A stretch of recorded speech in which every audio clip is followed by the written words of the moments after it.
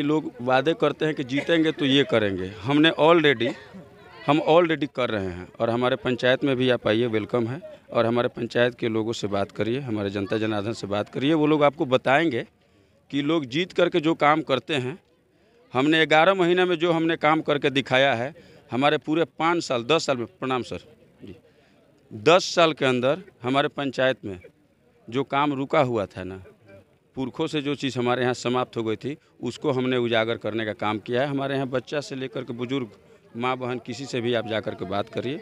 जो काम करने का बात आती है कि जीतने के बाद में हम ये करेंगे, वो करेंगे, फलाना करेंगे, हमने वो करना शुरू कर दिया है और हमने अपने पंचायत में न्यू डाल दिया है। हमारे पंचायत में न्यू डाल गया है, जो हमें वहाँ का विकास करना है। अब उसकी दीवार, फिनिशिंग हमारे जनता जनार्दन के हाथ में है। अगर मुझे समय मिलता है तो फिनिशिंग भी होगा उसमें।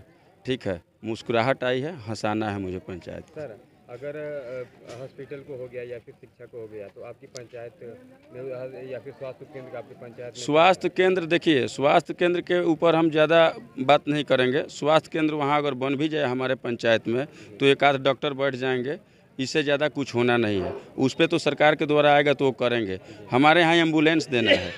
आज की वैसी कोई बीमारी नहीं है, जो कि जलालपुर पंचायत में आपके इलाज हो जाए। तो वो सरकार द्वारा मिलेगा तो एक अस्पताल छोटा मोटा खुलेगा, उस पर भी हम काम करेंगे। लेकिन हमारा एक एंबुलेंस है, ठीक है, सर्विस है। हम यहाँ से प्रदेश जहाँ भी हॉस्पिटल वगैरह के सर्विस देने का काम करेंगे, कर रहे हैं। हम रोज़गार पे काम कर रहे हैं।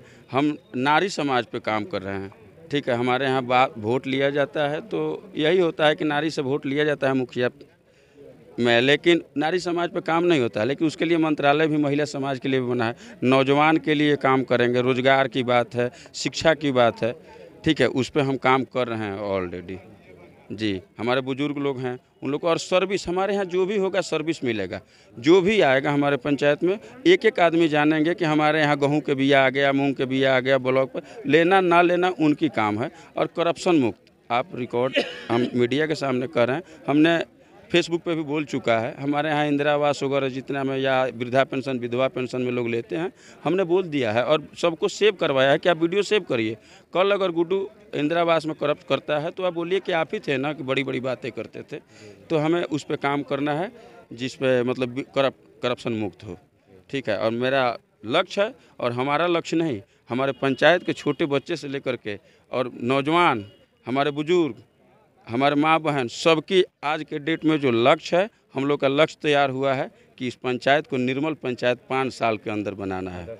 जी, आदर्श पंचायत हम बनाएँगे तो बनाएँगे। और मैं अपना हाँ मेरा नाम गुड्डू कुमार सिंह है, भावी मुखिया प्रत्याशी हैं जलालपुर पंचायत से। जी, धन्यवाद। हम अपने पंचायत में एक दूसरे में प्रेम डालेंगे। एक दूसरे से मिलना बहुत ज़रूरी है। सब एक दूसरे के पास बैठे बात करें, सब लोगों में संगठन होना सबसे ज़रूरी है समाज में आज के डेट में।